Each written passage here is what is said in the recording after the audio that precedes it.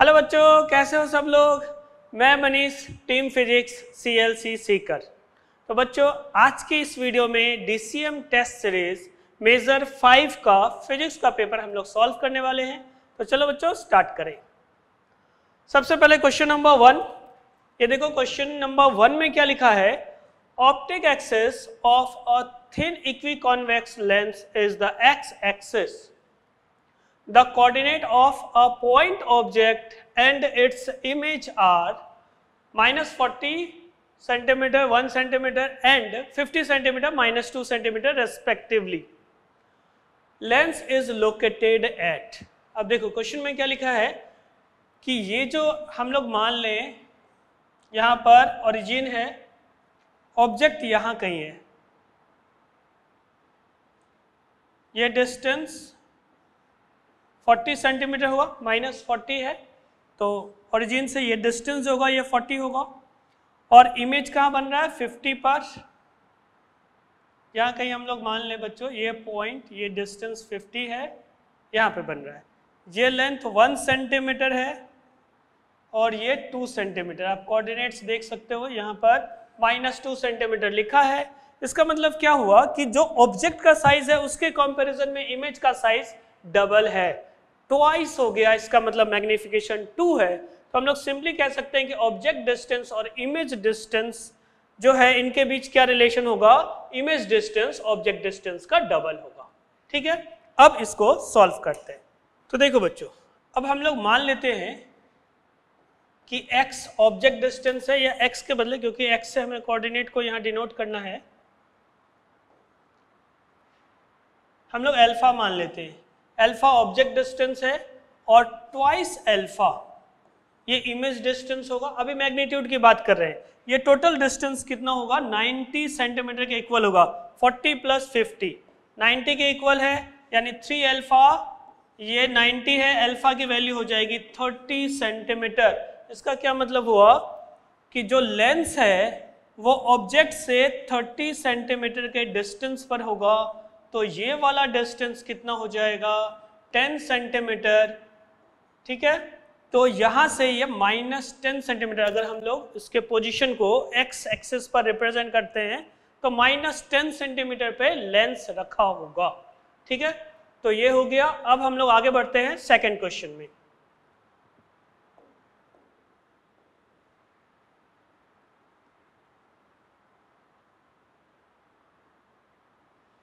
देखो second question में क्या लिखा है? Step down transformer transforms supply line voltage of 2200 volt into 220 volt the primary coil has 5000 turns the efficiency and power transmitted by the transformer are 90% and 8 kilowatt respectively. Then the power supplied. देखो बच्चों, यहाँ जो information दिया है, इसकी ज़रूरत नहीं। हमें बस इतने से सॉल्व करना है ये क्वेश्चन क्योंकि बहुत सिंपल ही है। आउटपुट और इनपुट का रिलेशन ये गिवन है 90 परसेंट हम लोगों को क्या फाइंड करना है? इनपुट पावर सॉरी ये तो सॉल्व करने के बाद आएगा। सॉल्व करके देखो बच्चों, आप मान लो कि इनपुट पावर एक्स है। एक्स का 90 परसेंट ये किसके इक्वल है? एट के इक्वल है। एक्स हो जाएगा एट बाई पॉइंट नाइन और ये सॉल्व करके आता है 8.89 किलोवाट यानी इसका जो आंसर है, वो ऑप्शन नंबर टू हो जाएगा। ठीक है बच्चों? चलो, अब आगे बढ़ते हैं।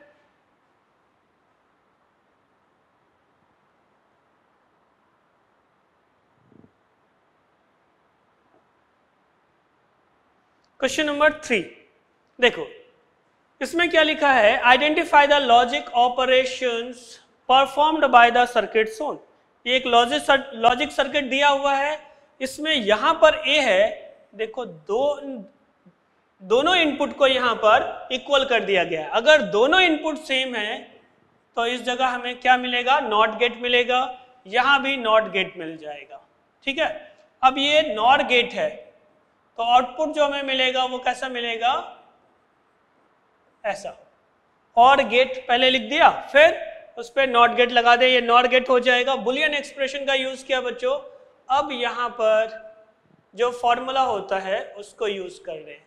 तो बिना किसी कैलकुलेशन के ट्रूथ टेबल बनाए बगैर हम लोग कह सकते हैं कि ये एक एंड गेट होगा। करेक्ट आंसर हो जाएगा ऑप्शन नंबर टू ठीक है? ये था क्वेश्चन नंबर थ्री नेक्स्ट है क्वेश्चन नंबर फोर देखो बच्चों क्वेश्चन में क्या लिखा है? An electron moving with with velocity v along the axis approaches a circular current carrying loop as shown in the figure. यहाँ पर एक इलेक्ट्रॉन है, v वेलोसिटी से ये करंट कैरिंग लूप की तरफ़ आ रहा है।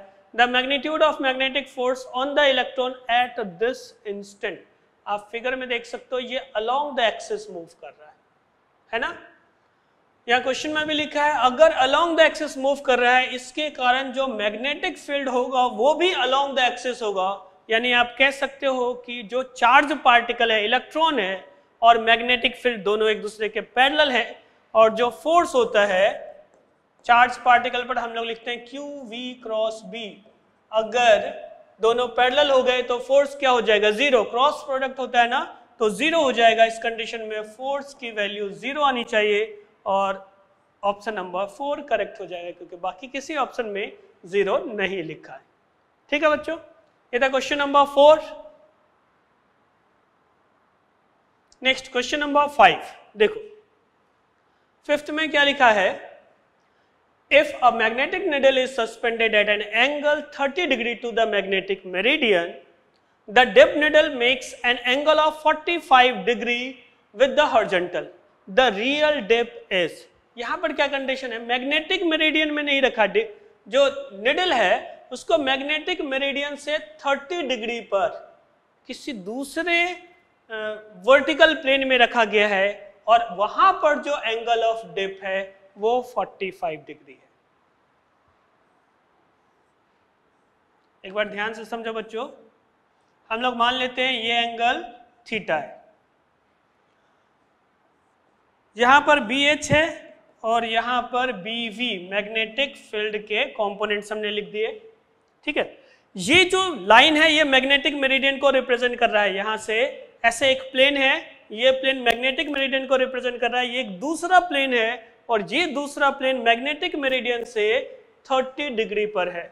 ये थीटा की वैल्यू 30 डिग्री अब उस दूसरे मेरिडियन में, इस इस वाले प्लेन में जो डिप है एंगल ऑफ़ डिप वो कितना है? 45 degree 45 degree angle of dip होने का मतलब ये है बच्चों कि जो उस मेरिडियन में, इस पर्टिकुलर प्लेन में जो हॉर्जेंटल कंपोनेंट होगा और जो यहाँ पर वर्टिकल कंपोनेंट वर्टिकल कंपोनेंट तो सबके लिए सेम है।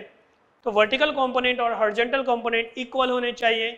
यानी अगर आप इस डायरेक्शन में बी एच डैश लिख दो हॉर्जेंटल कंपोनेंट तो हम लोग ऐसा लिख सकते हैं कि B V equals to B H dash ये समझ में आया ना कैसे लिखा है? 1045 degree equals to B V by B H dash ऐसे आ गया ये रिलेशन ठीक है?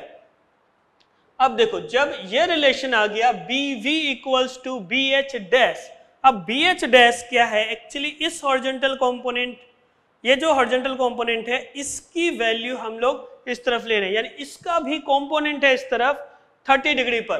तो आप ऐसे लिख सकते हो बच्चों B V equals to B H cos thirty degree हो गया सॉल्व बहुत सिंपल है। हमें क्या फाइंड करना है कि कितना एंगल ऑफ़ डिप है? यानी actually B V by B H find करना है और ये हो गया रूट थ्री बाई टू इसको हम लोग क्या कहते हैं?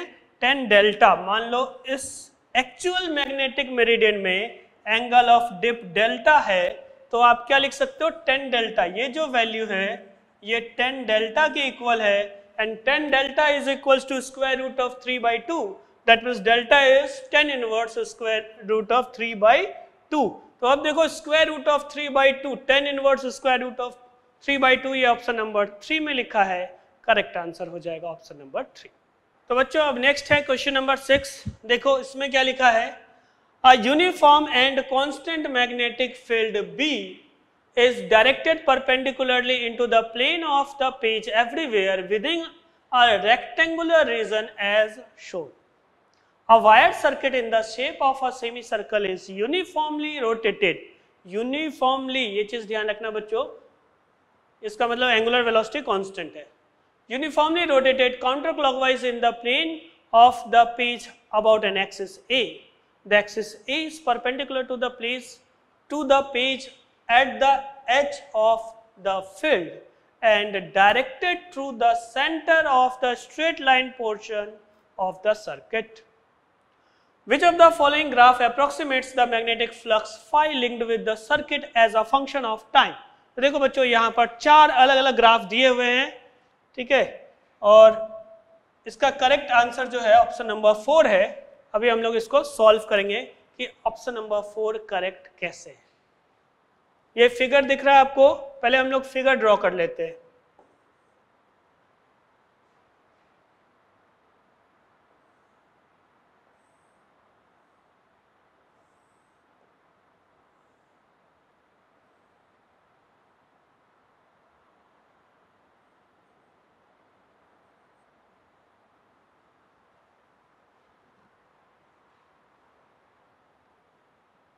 देखो, ध्यान देना बच्चों।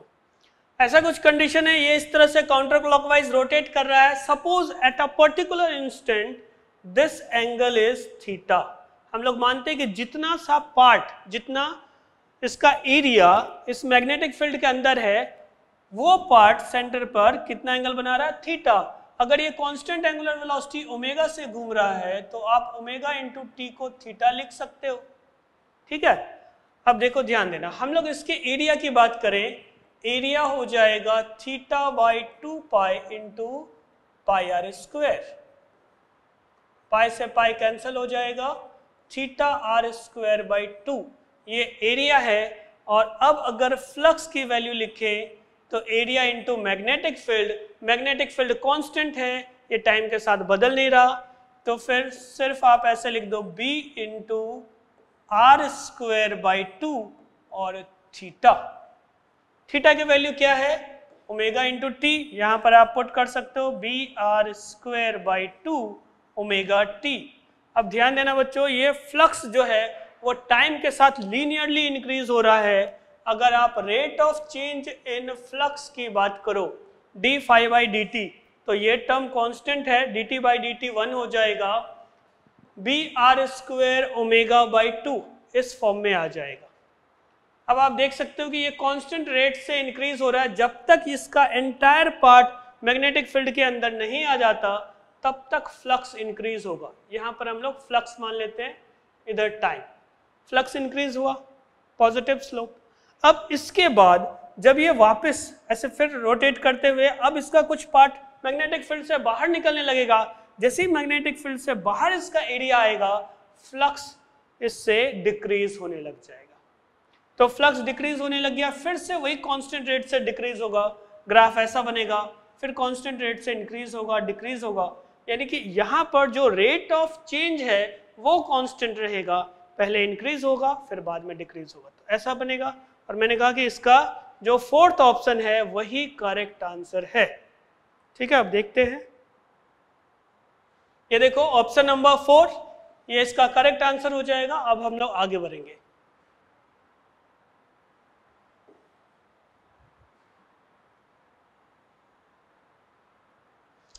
क्वेश्चन नंबर सेवन देखो बच्चों, इसमें क्या लिखा है a massless rod is suspended is suspended by two strings AB and CD of equal length. A block of mass m is suspended from point O. यहाँ पर फिगर में पॉइंट ओ है। ठीक है? इस जगह पर यह पॉइंट ओ आपको दिख रहा है?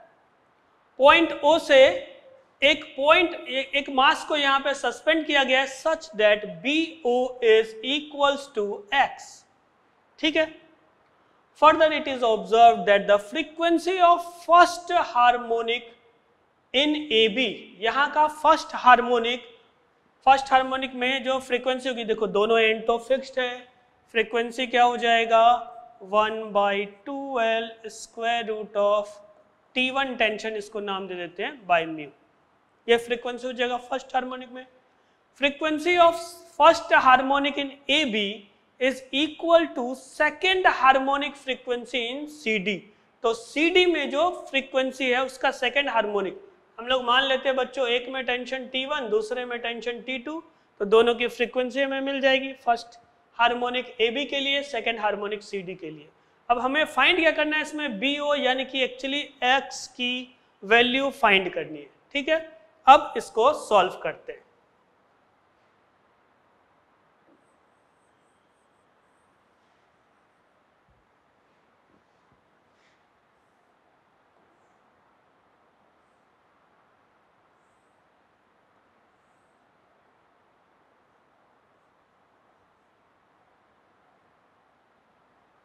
ऐसा कुछ फिगर है? इसमें टेंशन हम लोग टी मान लें टी वन, यहाँ पर टेंशन टी टू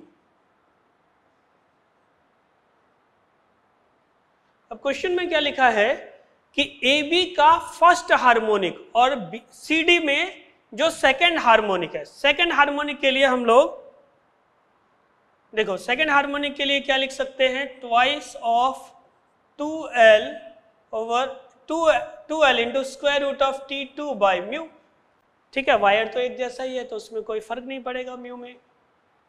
अब आप एक काम करो, यहाँ से टू एल से टू एल कैंसिल कर दो म्यू से म्यू कैंसिल कर दो।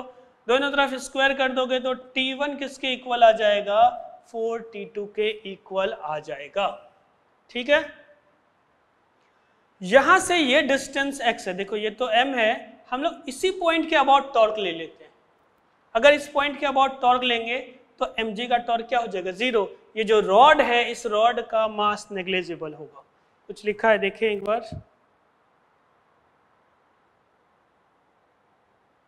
क्वेश्चन में मासलेस रॉड लिखा है? इसका मतलब क्या हुआ कि रॉड का तो कोई मास है ही नहीं। इसके कोई हम लोगों को सेंटर ऑफ़ मास से अलग से एक्स्ट्रा फोर्स की ज़रूरत नहीं पड़ने वाली है। सिर्फ़ इस एम के कारण फोर्स लग रहा है तो हम लोग अब इसको सॉल्व करते हैं। इस पॉइंट के अबाउट इसको ओ मान लो ओ पॉइंट के अबाउट अगर टॉर्क लेंगे, ये एक्स डिस्टेंस है, ठीक है? तो क्या लिख सकते हैं? T one into x equals to ये डिस्टेंस एल माइनस एक्स रह जाएगा, इतना सा डिस्टेंस ठीक है? तो क्या लिख दें? T two into L minus x M G का तो टॉर्क ज़ीरो हो गया। एक टॉर्क इधर से लग रहा है, दूसरा टॉर्क इधर से लग रहा है। क्लॉकवाइज एंटी क्लॉकवाइज दोनों टॉर्क इक्वल होने चाहिए क्योंकि ये सिस्टम इक्विलिब्रियम में है। अब देखो बच्चों, एक रिलेशन तो आया T1 one equals to four दूसरा रिलेशन क्या है? T1x one x equals to T two into L minus x अगर दोनों को आप डिवाइड कर दोगे तो यहाँ पर आएगा x equals to L minus x by four हम लोगों ने equation two divided by equation one लिखा है, ठीक है?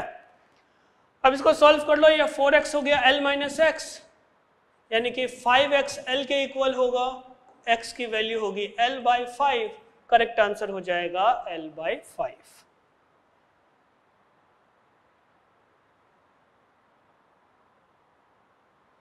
यानी ऑप्शन नंबर वन इसका करेक्ट हो जाएगा, ठीक है बच्चों? अब हम लोग आगे बढ़ते हैं नेक्स्ट क्वेश्चन में आएँगे।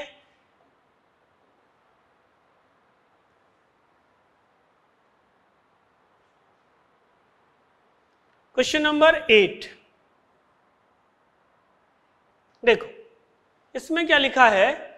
The acceleration of an electron at a certain moment in a magnetic field B equals to two i cap plus three j cap plus four k cap is a equals to x i cap plus j cap minus k cap the value of x is देखो बच्चों, ध्यान देना, बहुत simple सा concept है। अगर हम लोग चार्ज पार्टिकल की बात करें तो चार्ज पार्टिकल पर जो मैग्नेटिक फोर्स लगता है, उसको हम लोग ऐसे लिखते हैं। क्यू वी क्रॉस बी ठीक है? और इससे आप कह सकते हो कि ये जो फोर्स है,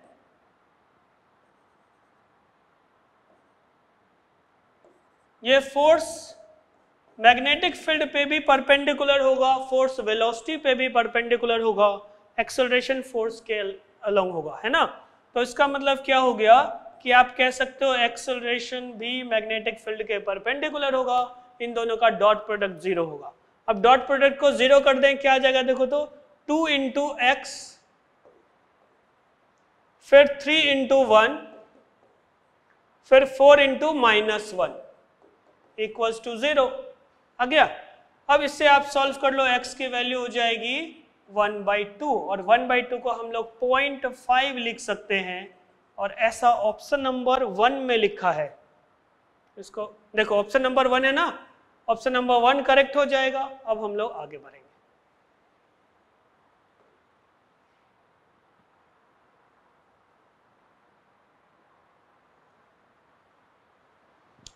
Question number nine. देखो बच्चों नाइन्थ में लिखा है a charge particle of mass m and charge q is accelerated through a potential difference of V volts it enters a region of uniform magnetic field B which is directed perpendicular to the direction of motion of the particle the particle will move on a circular path of radius हमें क्या find करना है? Radius और हम लोगों को पता है बच्चों यूनिफॉर्म मैग्नेटिक फ़ील्ड में अगर चार्ज पार्टिकल को परपेंडिकुलरली प्रोजेक्ट करें तो रेडियस होता है m v over q B ये फॉर्मूला होता है। ठीक है? अब ये v क्या है? स्पीड है। इसको अभी ऐसे रिप्रेजेंट कर देते हैं। कंफ्यूजन नहीं होनी चाहिए।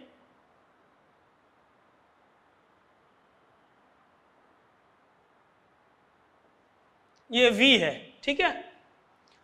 तो अब आप इसको लिख सकते हो square root of two m into energy kinetic energy और काइनेटिक एनर्जी क्या हो जाएगा? Q इंटू वी यहाँ कैपिटल v जो है, ये पोटेंशियल है, जिस पोटेंशियल डिफरेंस के कारण उसको एक्सलरेट करवाया गया है। तो जो एनर्जी होगी हाफ़ एम वी स्क्वेयर इसको हम लोग चार्ज इंटू पोटेंशियल लिख सकते ठीक है? और डिवाइडेड बाय क्यू बी अब बी को अलग कर लेते हैं। क्यू को अगर आप अंदर लिखोगे, एक क्यू कैंसल हो जाएगा। Two m V divided by q ऐसा आंसर आ जाएगा। बहुत सिंपल क्वेश्चन है बच्चों। तो इसका करेक्ट आंसर क्या है? ऑप्शन नंबर थ्री ठीक है? अब आगे बढ़ते हैं।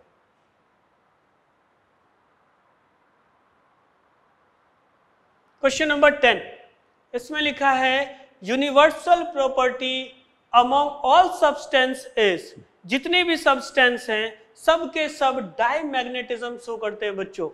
ठीक है? जैसे लेंज लॉ आप लोगों ने पढ़ा ही होगा। जो भी चेंज इन फ्लक्स होता है, उसको अपोज करता है। यहाँ पर भी क्या है बच्चों? जो चेंज आता है मतलब मैग्नेटिक फ़ील्ड में अगर आप किसी ऑब्जेक्ट को रखते हो तो डाई मैग्नेटिज्म तो हर किसी में होता है। लेकिन अगर दूसरी प्रॉपर्टीज़ यहाँ पर डोमिनेटिंग हो गया तो फिर मैग्नेटिक जो नेचर होता है मैग्नेटिक प्रॉपर्टी होती है, वो अलग हो जाती है पैरामैग्नेटिक या फेरोमैग्नेटिक जो भी। ठीक है बच्चों? लेकिन डाईमैग्नेटिज्म ये यूनिवर्सल प्रॉपर्टी है, हर एक ऑब्जेक्ट में पाया जाता है। तो इसलिए इसका करेक्ट आंसर क्या होगा? ये तो डेटा बेस्ड क्वेश्चन है थ्योरेटिकल क्वेश्चन है बच्चों। इसका आपको रिज़ल्ट याद रखना है। ठीक है? डायमैग्नेटिक अब हम लोग आगे बढ़ेंगे।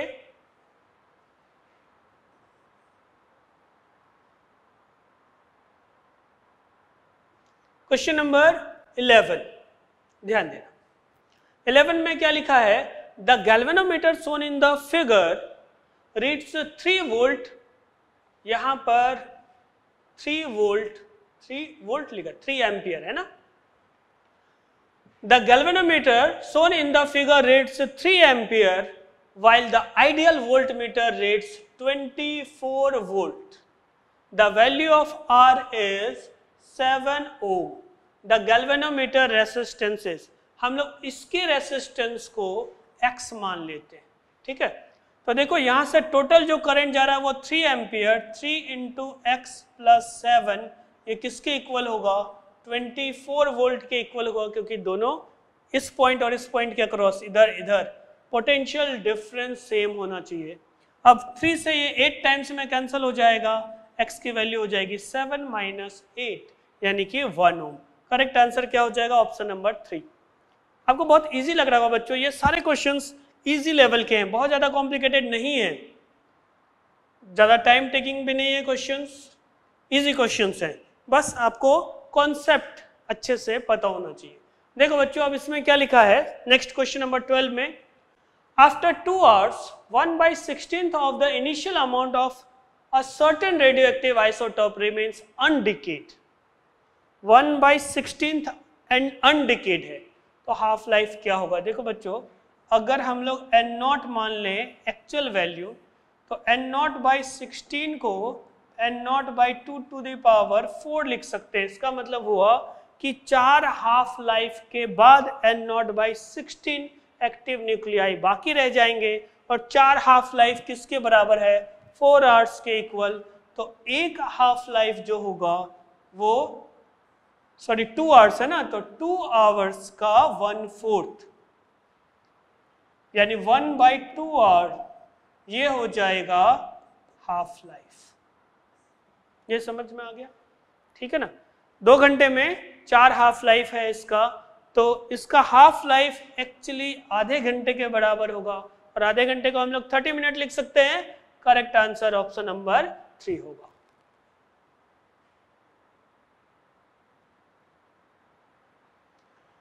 नेक्स्ट है क्वेश्चन नंबर थर्टीन देखो बच्चों, इसमें क्या लिखा है?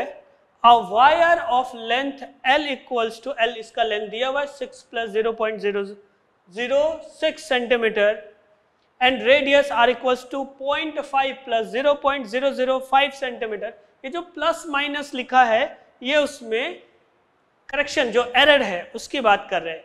And mass m equals to ये भी मास दिया हुआ है। मैक्सिमम परसेंटेज एरर की बात करने में तो परसेंटेज एरर से पहले हम लोग देखो बच्चों ऐसे लिख सकते हैं, किसी भी वायर का जो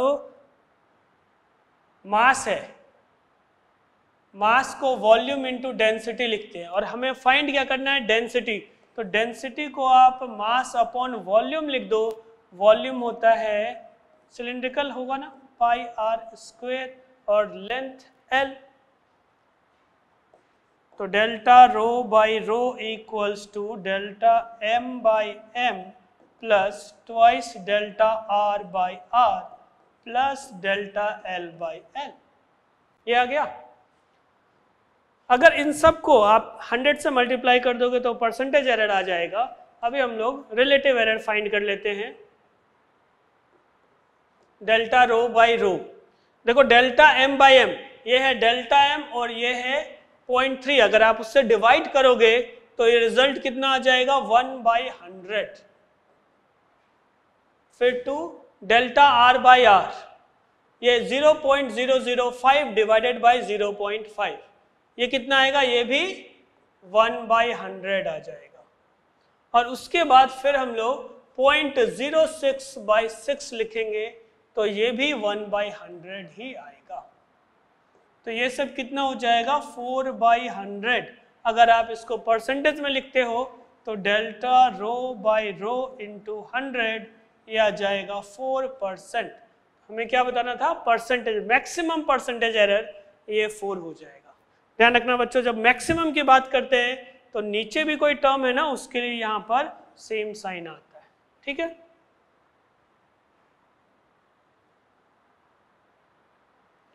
क्वेश्चन नंबर 14 देखो 14 में लिखा है three रेजोन three resonance curves are shown in the figure for same applied EMF यानी ईएमएफ e सेम है और तीन अलग अलग रेजोनेटिंग कर्व दिए हुए यहाँ पर। R1, R2, R3 R three are resistances use for respective graphs then अब हमें R1, R2 और आर थ्री के बीच रिलेशन बताना है। अलग अलग ऑप्शन दिए हुए ठीक है बच्चों? तो देखो ध्यान देना अगर हम लोग बात करें यहाँ पर मैक्सिमम करंट की तो मैक्सिमम करंट जो होता है इसको ऐसे लिखते हैं रेजोनेटिंग सर्किट में ये ऐसा हो जाएगा ठीक है? अब R1, R2, R3 में R जितना कम होगा मैक्सिमम करंट उतना ही ज़्यादा हो जाएगा यहाँ देखो ये सबसे ज़्यादा है, यानी R2 सबसे ज़्यादा होगा। फिर R1 होगा और सबसे कम वैल्यू होगी सॉरी करंट सबसे ज़्यादा ना, उल्टा साइन लिखना पड़ेगा।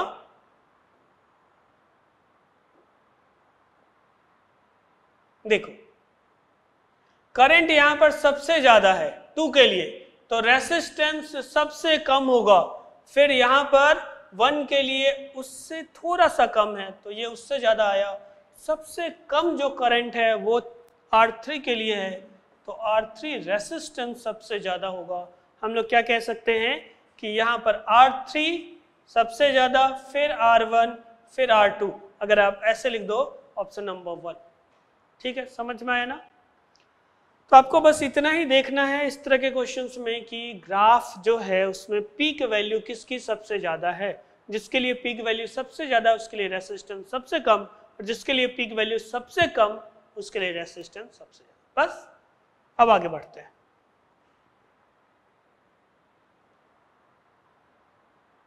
नेक्स्ट क्वेश्चन नंबर 15 इसमें लिखा है an ideal gas can be brought from stage A and B, stage A and B through four different paths as shown in the figure. ठीक है? A से B तक चार अलग अलग पाथ से इसको ले जा रहे हैं। The energy given to the system is minimum in देखो चार अलग अलग पाथ दिए हुए हैं। यहाँ से एक ये पाथ है फिर ए से सी तक आए फिर वापस बी तक आ रहे हैं। फिर इस तरीके से ऐसा। तो चार अलग अलग पाथ दिया हुआ है बच्चों।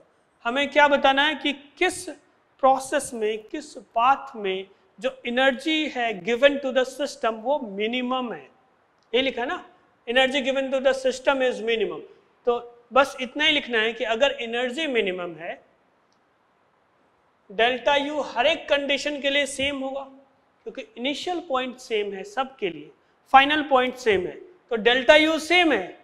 अब अगर वर्क डन कम है तो डेल्टा क्यू कम होगा। हम लोग फ़र्स्ट लॉ ऑफ़ थर्मोडाइनमिक्स क्या लिखते हैं? Delta Q equals to change in change in internal energy plus work done ठीक है? तो अब यहाँ पर आप देख सकते हो कि इस कंडीशन में सबसे ज़्यादा वर्क डन होगा। वर्क डन पीवी ग्राफ के लिए हम लोग क्या लिखते हैं? एरिया अंडर पीवी कर्व वही होता है वर्क डन के बराबर। ठीक है? तो ए सी डी या ए सी बी की बात करते हैं। ए सी बी में सबसे ज़्यादा एरिया है, फिर इसमें फिर इसमें, और सबसे कम एरिया आएगा ए एफ़ बी में। तो ए एफ़ बी में जो energy given to the system होगा दैट विल बी मिनिमम ठीक है बच्चों?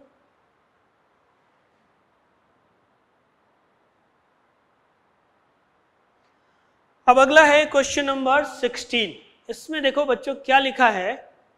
A gas at a pressure P naught is contained in vessel. If the masses of all the molecules are halved and their speed doubled, मास को क्या कर दिया? आधा और स्पीड यानी आर एम एस स्पीड की यहाँ बात कर रहे हैं। अगर जनरल स्पीड भी आप डबल करोगे आर एम एस स्पीड क्या आएगा? डबल आ जाएगा। The resulting pressure P would be ठीक है? रिजल्टिंग प्रेशर की बात कर रहे हैं। P को हम लोग लिखते हैं one by three rho v r m s square अगर आप हर एक मॉलिक्यूल के मास को आधा कर रहे हो तो डेंसिटी भी हाफ़ हो जाएगा, क्योंकि वॉल्यूम तो चेंज कर नहीं रहे। तो P डैश यहाँ पर हो जाएगा रो बाई टू, और ये two v r m s. ठीक है? अब अगर आप कैंसिल करोगे तो ये आ जाएगा टू पी के इक्वल, इसको हम लोग पी नॉट नाम दे दें तो यहाँ पर आंसर क्या हो जाएगा? Two P nought, option number two correct हो जाएगा।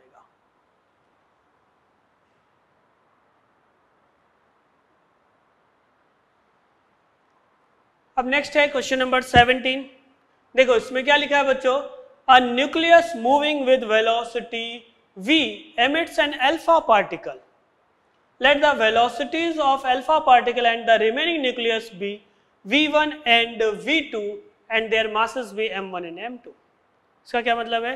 कि पहले जो न्यूक्लियस था, ठीक है, वो पहले मान लो वी वेलोसिटी से मूव कर रहा है, उसमें से एक अल्फ़ा पार्टिकल निकला और जो दूसरा बचा हुआ जो न्यूक्लियस का पार्ट रह गया, हम लोग डॉटर न्यूक्लियस बोल सकते हैं तो वो भी मूव कर रहा है और दूसरा अल्फ़ा पार्टिकल भी मूव कर रहा है।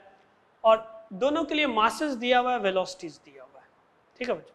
क्योंकि कोई एक्सटर्नल फोर्स नहीं लग रहा था। तो हम लोग ये कह सकते हैं कि नेट मोमेंटम कंजर्व होगा। वेक्टर के फॉर्म में लिखें तो कैसा आएगा?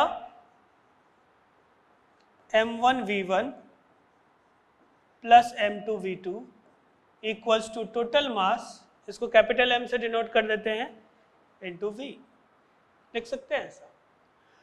अब देखो, ये जो रिजल्टेंट है, ये v के पैरेलल होगा।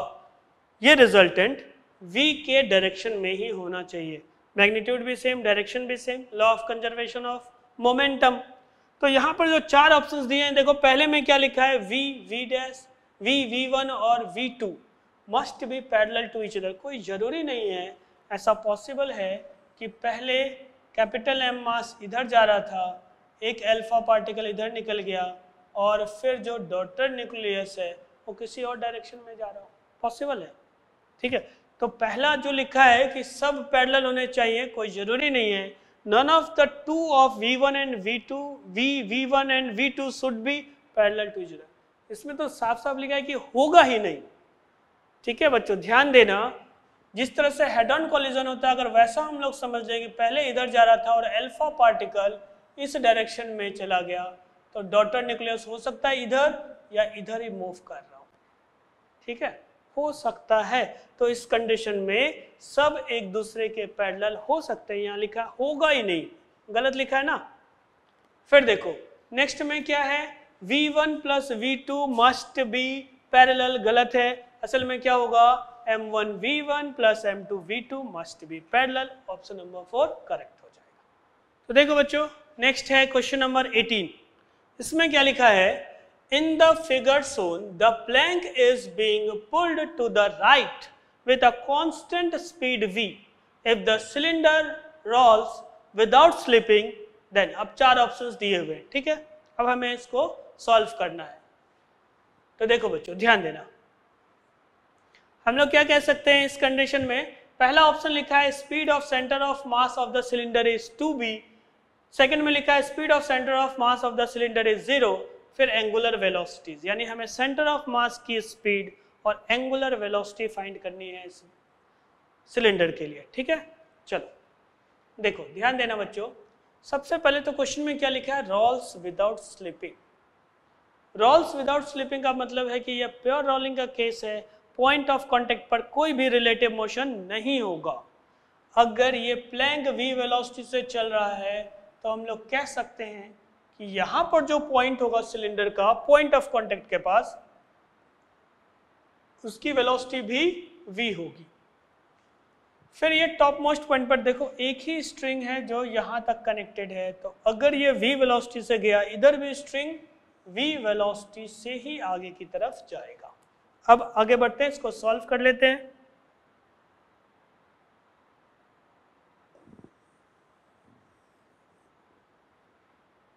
देखो।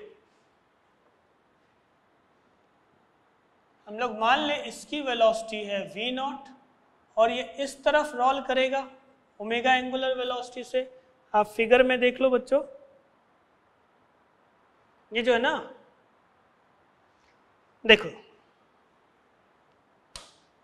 अगर ये प्लैंक ऐसे जा रहा है, ये जो प्लैंक है, ये इस तरह से ऐसे मूव कर रहा है और यहाँ पर सिलेंडर है, जैसे जैसे ये इस तरफ़ जाएगा, ऐसे मूव करेगा। ये आप समझ पा रहे हो?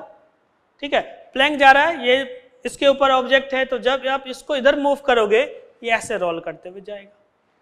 इसको इधर मूव कर ना, ये इस तरह से रोल करते हुए मूव कर रहा है। सेंटर ऑफ़ मास अभी हम लोग मान लेते हैं कि वी नॉट वेलोसिटी से ये राइट की तरफ़ जा रहा है। वो तो कैलकुलेशन के बाद कैलकुलेट करने के बाद खुद ही पता चल जाएगा कि क्या वैल्यू आनी है। राइट होगा लेफ़्ट होगा या ज़ीरो होगा। ठीक है बच्चों? अभी हमने मान लिया ओमेगा ये रेडियस आर है, ये रेडियस भी आर है। आप क्या लिख सकते हो? यहाँ पर इस तरफ़ omega r minus v nought equals to v, और इस पॉइंट के लिए ओमेगा आर भी इधर है, वी भी इधर है, वी नॉट तो omega r plus v nought ये वी के इक्वल हो जाएगा। दो इक्वेशन आगे, दोनों इक्वेशन को सॉल्व करना। अगर आप दोनों को प्लस करोगे तो देखो क्या आएगा? Two omega r equals to two v, क्योंकि वी नॉट तो कैंसिल हो जाएगा। तो ओमेगा आर की वैल्यू हो जाएगी वी, ओमेगा हो जाएगी वी बाय आर। अगर आप इन दोनों को माइनस कर दो तो ठीक है, हमारे पास ये कैंसिल हो जाएगा और रिज़ल्ट आ जाएगा v nought equals to zero. तो वी नॉट आएगा, जो भी है, सॉल्व करके ये ज़ीरो हो गया। इसका मतलब क्या है? कि सेंटर ऑफ़ मास ये रेस्ट में रहेगा और सिर्फ़ ऐसे अपने एक्सिस के अबाउट घूम रहा होगा। और जो एंगुलर वेलोसिटी है, वो ओमेगा बाई आर के इक्वल होगी। अब देखते हैं ऑप्शंस क्या क्या दिए हैं बच्चों। ये आ गया। पहले में लिखा था speed of centre of mass of the cylinder is two v गलत है। कितना आया था हमारे कैलकुलेशन के बाद? ज़ीरो फिर नेक्स्ट लिखा angular velocity v by r आया था, यहाँ टू आर लिखा है, यहाँ ज़ीरो लिखा है, ये दोनों इनकरेक्ट है। ठीक है? यानी एक ही करेक्ट आंसर है ऑप्शन नंबर टू अब आगे बढ़ेंगे।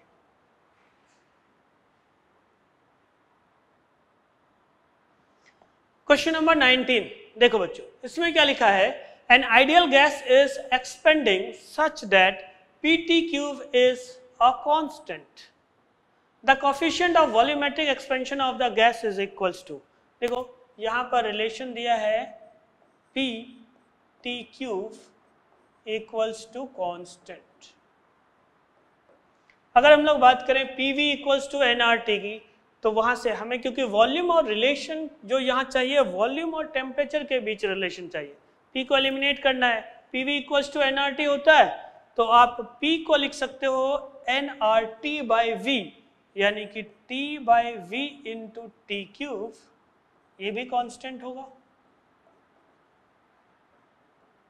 अब हम लोग मान लें t to the power four equals to constant k into V ये कांस्टेंट हमने मान लिया, k कोई कांस्टेंट है। ठीक है? ऐसे सिंबल से रिप्रेजेंट कर दिया। अब अगर आप इसको डिफ्रेंशिएट कर दो तो क्या आ जाएगा? Four T cube delta T equals to K delta V ठीक है? हमें फाइंड क्या करना है? कॉफिशियंट ऑफ़ वॉल्यूमेट्रिक एक्सपेंशन यानी गामा फाइंड करना है बच्चों। अभी हम लोग एक काम करते हैं, इन दोनों को डिवाइड कर देते हैं। इसको इक्वेशन वन नाम दे दो, इसको इक्वेशन टू नाम दे दो। अगर इक्वेशन टू बाई वन करोगे तो आपके पास जो रिज़ल्ट आएगा, कैसा आएगा? Four delta T by T ठीक है ना? और यहाँ पर के तो कैंसिल हो जाएगा delta V by V four by T को आप लिख सकते हो delta V by V delta T अब ये क्या है? देखो, यहाँ राइट साइड में जो आया है change in volume per unit volume per unit change in temperature और इसी को कहते हैं कॉफिशियंट ऑफ़ वॉल्यूमेट्रिक एक्सपेंशन यानी गामा की value four by T correct answer क्या हो जाएगा? ऑप्शन नंबर ठीक है?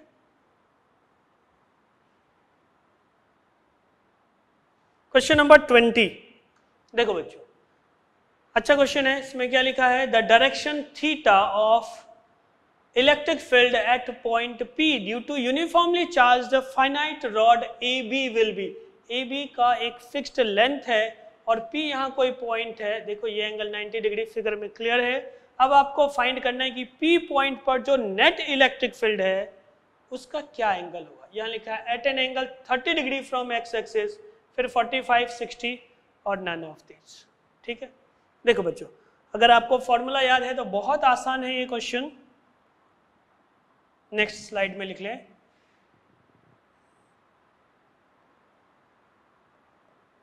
यहाँ पर कोई पॉइंट है? इस पॉइंट के लिए एक एंगल हम लोग फाइव वन लेते हैं दूसरा एंगल फाइव टू लेते हैं. इधर से तो फाइव टू की वैल्यू यहाँ ज़ीरो डिग्री है और फाइव वन की वैल्यू, क्योंकि ये वाला एंगल फिगर में थर्टी डिग्री गिवन है, ठीक है? यहाँ पर ये पॉजिटिव चार्ज है। ये थर्टी है तो ये वाला फाइव वन कितना हो जाएगा? Sixty degree. अब एक कंपोनेंट इस तरफ़ होगा, इसको हम लोग ई e एक्स से रिप्रेजेंट कर दें। ई e एक्स का फॉर्मूला होता है two K lambda by R sine five one plus five two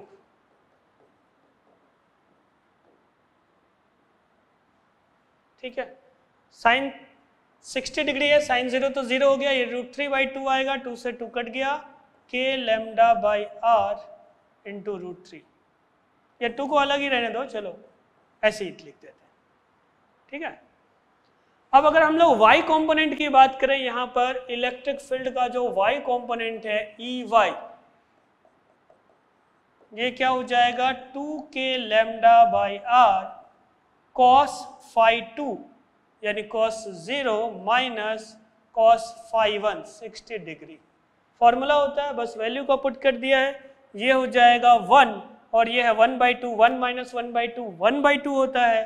यानी ये रिज़ल्ट क्या आ जाएगा? Two K lambda by R into one by two.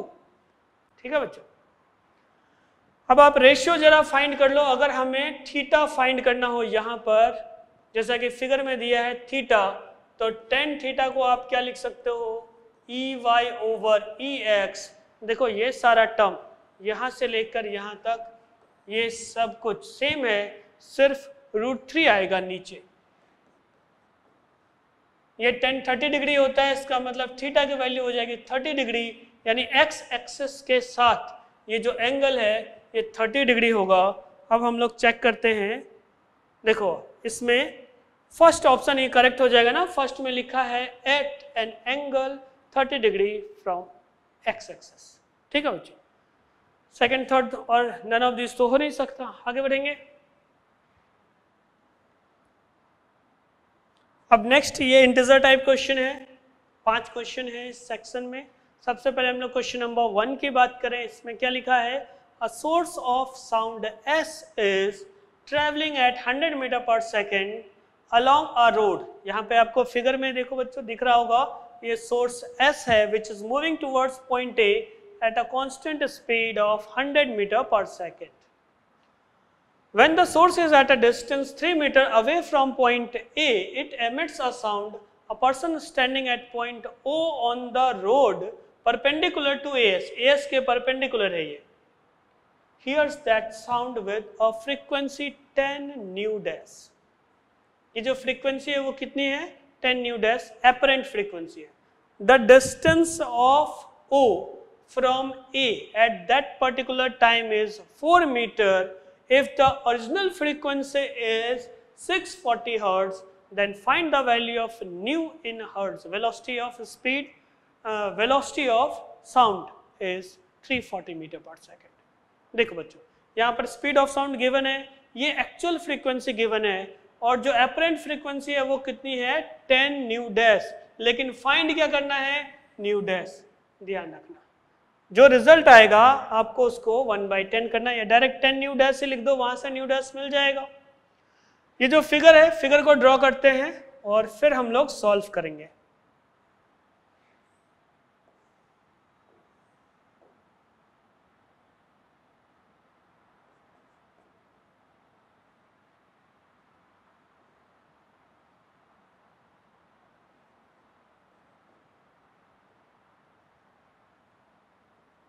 देखो, ऐसा कुछ फिगर है, अगर आप थीटा की वैल्यू लिखना चाहो, ऐसे लिख सकते हो ना tan theta four by three यानी थीटा की वैल्यू हो जाएगी फिफ्टी थ्री डिग्री अब यहाँ पर ये किस वेलोसिटी से चल रहा है? Hundred by three metre per second और स्पीड ऑफ़ साउंड वो थ्री फोर्टी गिवन है मीटर पर सेकेंड हम लोग डॉपलर इफ़ेक्ट यूज़ करेंगे बच्चों, इस क्वेश्चन में। एपरेंट फ्रीक्वेंसी का जो फॉर्मूला होता है, क्या लिखते हैं? एपरेंट फ्रीक्वेंसी यहाँ 10 न्यू डैश है और एक्चुअल फ्रीक्वेंसी 640 गिवन है। स्पीड ऑफ़ साउंड ये 340 फॉर्मूला जो हम लोग लिख रहे हैं, देखो। एफ़ नॉट अगर मान लो एक्चुअल फ्रीक्वेंसी है तो ये होता है C plus velocity of observer divided by C minus velocity of source यहाँ ऑब्जर्वर तो रेस्ट में है ऑब्जर्वर रेस्ट में that means V naught zero और सोर्स ये मूव कर रहा है, इसका जो कंपोनेंट होगा, देखो इस तरफ़ ये वेलोसिटी ऑफ़ अप्रोच है, इन दोनों के बीच का सेपरेशन कम हो रहा है तो आपको यहाँ पर वी एस की डायरेक्ट वैल्यू पुट कर देनी है। तो 340 ऊपर हो गया, यहाँ तो ज़ीरो है, लिखने की ज़रूरत नहीं, नीचे 340 माइनस और ये वैल्यू कितना गिवन है?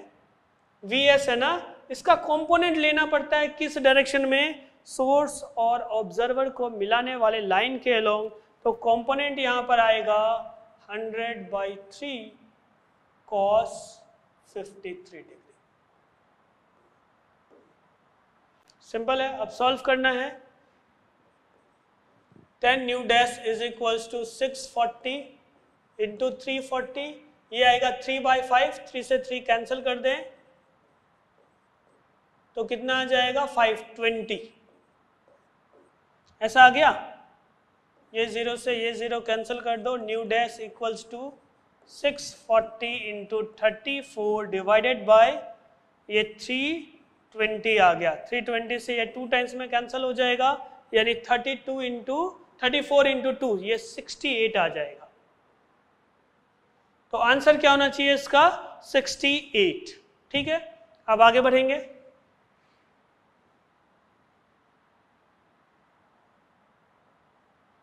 Question number two. Second question में देखो बच्चों, क्या लिखा है? Two K G of ice at minus twenty degree Celsius is mixed with five K G of water at twenty degree Celsius find the mass in kilogram of water in the mixture find the final mass यानी एक बार mixture को मिला दिया steady state में आ गया, जब thermal equilibrium का स्टेट आ गया।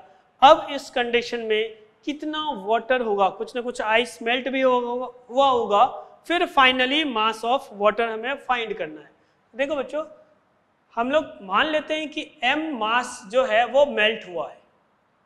क्योंकि तो जो एनर्जी है, यहाँ पर रिलीज़ कितनी हो सकती है? 20 डिग्री सेल्सियस पर है। चेंज इन टेम्परेचर अगर आप वाटर को 20 डिग्री सेल्सियस से 0 डिग्री सेल्सियस तक भी लाते हो, तब उस कंडीशन में जो एनर्जी रिलीज़ होगी, वो जाएगा M S delta theta M को हम लोगों ने किलोग्राम में लिखा है, यहाँ पर ये one kilo calorie per kilogram degree Celsius है, और ये 20 माइनस ज़ीरो लिख दिया। यानी कि ज़ीरो डिग्री सेल्सियस तक आने में ये 100 किलो कैलोरी एनर्जी रिलीज़ करेगा। अब बहुत सिंपल सी बात है बच्चों, दो किलोग्राम है, अगर ये माइनस ट्वेंटी डिग्री सेल्सियस के बदले ज़ीरो डिग्री सेल्सियस पर भी होता तो भी इसको पूरी तरह से मेल्ट होने के लिए, क्योंकि लेटेंट हीट 80 होता है 80 किलो कैलोरी पर किलोग्राम। तो दो किलोग्राम आइस को मेल्ट होने के लिए भी 180 किलो कैलोरी की ज़रूरत है। यहाँ ये सिर्फ़ 100 किलो कैलोरी हीट एनर्जी ही रिलीज़ कर सकता है। इसका मतलब क्या हुआ? पूरा आइस मेल्ट नहीं होगा। फाइनल टेम्परेचर होगी ज़ीरो डिग्री सेल्सियस। ये क्लियर हो गया? अब देखो। हम लोग मान लेते हैं कि एम मास है जो मेल्ट होगा। तो पहले आप लिख दो ये टू किलोग्राम इसके लिए स्पेसिफिक हीट कैपेसिटी जो आइस का होता है, हम लोग को पता है कि वाटर की स्पेसिफिक हीट कैपेसिटी का हाफ़ होता है। ठीक है? तो यहाँ पर हाफ़ लिख देंगे और चेंज इन टेम्परेचर कितना है? 20 पहले ये टू किलोग्राम आइस था, जो माइनस ट्वेंटी डिग्री सेल्सियस पर था, इसको ज़ीरो डिग्री सेल्सियस पर लाया। अब इसके बाद पूरा का पूरा आइस मेल्ट नहीं होगा तो हम लोग मान लेते हैं कि एम मास है जो मेल्ट होगा। एम इंटू एल एल कितना होगा? 80 किलो कैलोरी पर किलोग्राम अब ये 100 के इक्वल है। 20 को उधर ले जाओगे तो m into eighty equals to hundred minus twenty, वो भी 80 हो जाएगा। यानी वन किलोग्राम मास जो है, ये मेल्ट हो जाएगा आइस का। पहले से फाइव किलोग्राम वाटर था। अब और एक किलोग्राम ऐड हो गया तो फाइनल मास जो होगा मिक्सचर में, जल का द्रव्यमान कितना हो जाएगा? Six kilogram. ठीक है बच्चों? चलो, अब आगे बढ़ेंगे। ये क्वेश्चन नंबर टू था। क्वेश्चन नंबर थ्री ये अच्छा क्वेश्चन है।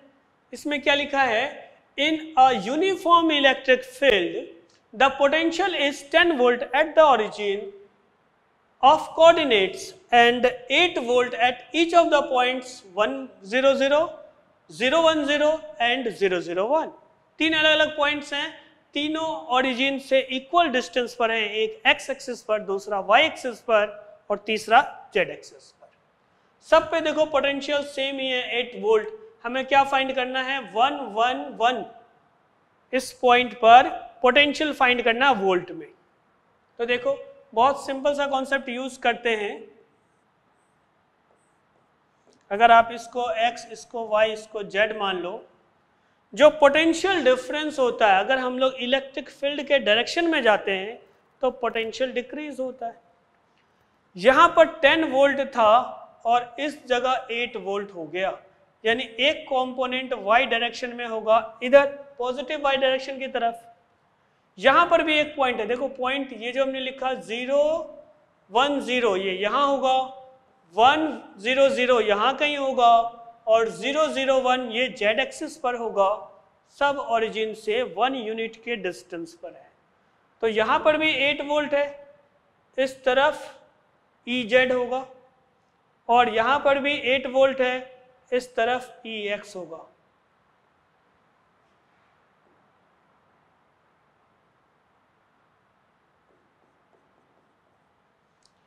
देखो डिफरेंस इन पोटेंशियल ये सेम है। 10 माइनस एट सबके लिए 2 वोल्ट है। इसका मतलब हम लोग ये कह सकते हैं कि x, y और z तीनों ही डायरेक्शन में कंपोनेंट सेम होगा। E X E Y E Z same है। क्या लिख सकते हैं? रेट यहाँ पर होता है ये। Delta V minus D V by D R हम लोग लिखते हैं। तो ये टू वोल्ट का पोटेंशियल डिफरेंस है। अब अगर माइनस लिखोगे, क्योंकि माइनस टू हो गया ना, घट गया तो यहाँ पर आ जाएगा plus two by distance one यानी एक्स वाई और जेड कॉम्पोनेंट इलेक्ट्रिक फ़ील्ड का सब के लिए टू आ जाएगा। यहाँ तक समझ में आया? ये इलेक्ट्रिक फ़ील्ड मिल गया। देखो, अब हमें क्या फाइंड करना है? वन वन वन पॉइंट पर। ये जो पॉइंट है, इस पॉइंट पर पोटेंशियल फाइंड करना है। तो हम लोग ऐसे लिख सकते हैं E X D X E Y D Y E Z D Z और अगर माइनस साइन लगा दे तो ये डेल्टा वी के इक्वल हो जाए, यहीं पे माइनस लगा देते हैं। ठीक है? लिमिट कहाँ से कहाँ तक है? ज़ीरो से वन। अब हम लोग को इस पॉइंट की बात कर रहे हैं। One one one. तो यहाँ भी ज़ीरो से वन, यहाँ भी ज़ीरो से वन। इस पॉइंट का जो पोटेंशियल है, वो हम लोग को फाइंड करना है, जबकि ओरिजिन पर पोटेंशियल कितना है? टेन कोई दिक्कत तो नहीं है? ठीक है E X E Y E Z ये सब जो है नेगेटिव में है। डेल्टा वी हम लोग ऐसे लिखते हैं delta V by delta R minus में। चलो तो यहाँ तक आ गया। अब जरा इसको सॉल्व कर लें। ई एक्स है टू टू इंटू वन यहाँ पर भी आ जाएगा टू टू इंटू वन और यहाँ पर भी टू टू टू टू तो माइनस वी प्लस टेन एक किसके इक्वल आ गया सिक्स के इक्वल आ गया। अब अगर आप v को उस तरफ़ ले जाओ सिक्स को इधर ले जाओ तो हमारे पास क्या रिज़ल्ट आ जाएगा? V equals to four volt कोई दिक्कत तो नहीं है? अब इसमें हमें पोटेंशियल ही चाहिए था तो आंसर क्या हो जाएगा? फोर वोल्ट सिंपल है, आगे बढ़ते हैं।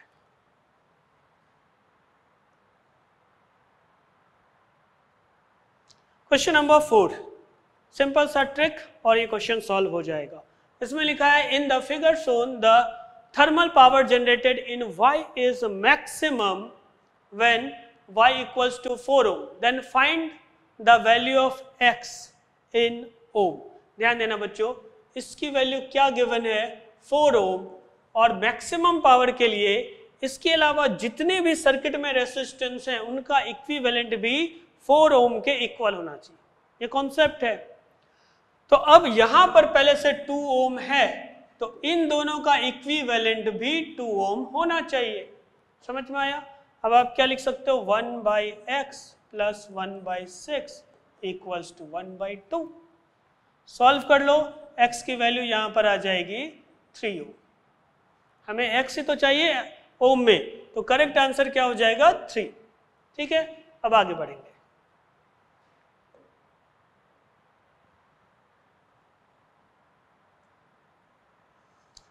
क्वेश्चन नंबर फाइव ये आगे हम लोग लास्ट क्वेश्चन में। देखो इसमें क्या लिखा है? In the following circuit find the current in milli ampere flowing through one kilo ohm resistance देखो इसके अक्रॉस पोटेंशियल डिफरेंस कितना है? फाइव वोल्ट का। तो इसके अक्रॉस भी पोटेंशियल डिफरेंस कितना होगा? फाइव वोल्ट का। पोटेंशियल डिफरेंस है फाइव वोल्ट और रेसिस्टेंस है थाउज़ेंड तो अब अगर हम लोग करंट की बात करें करंट हो जाएगा फाइव मिली एम्पियर और यहाँ पर हमें करंट मिली एम्पियर में चाहिए आंसर हो जाएगा फाइव तो बच्चों, ये पेपर का सॉल्यूशन यहीं पे ख़त्म होता है। उम्मीद है आपको ये पेपर बहुत ही इजी लगा होगा। फिर मिलते हैं नेक्स्ट पेपर के सॉल्यूशन के साथ नेक्स्ट वीडियो में। तब तक के लिए अपना ख्याल रखिए, पढ़ते रहिए। Thank you